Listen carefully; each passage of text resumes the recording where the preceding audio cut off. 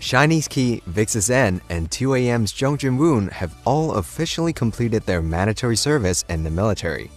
And with the current COVID protocols, they were discharged without having to return to their base after their final leave. Upon returning home, SHINee's Key shared photos, a written message, and a voice clip for his fans.